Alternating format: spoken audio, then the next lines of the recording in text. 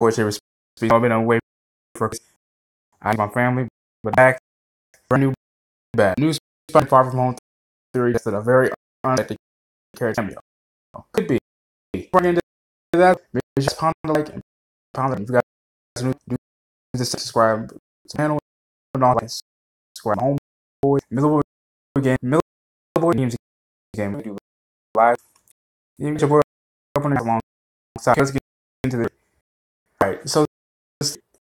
it's that Tony may make a appearance and inspire him now.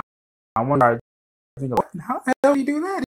He's, oh, we, we all, this is very, also most our homeboy, like, like he did. And, and, so, and I don't think it'll be like not more than just to, to the people that cared about, been evident game. Cedar Park, his pro, his, his, whatever you want to say. And I feel like when he's looking at these shots, is when he's running shit, those 20 message for heed. You know, I finally wouldn't roll out get Peter some last, last minutes, some very last, last motivation. And so, it's, it's not motivation.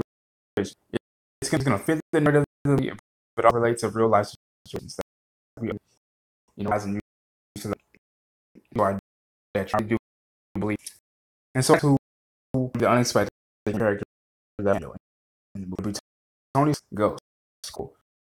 Leaving the ever more will and to this as an as his own hero so on. And also Peter he finally you know take chances, you know, with his chances of do your life to this. Don't don't single over life that you take.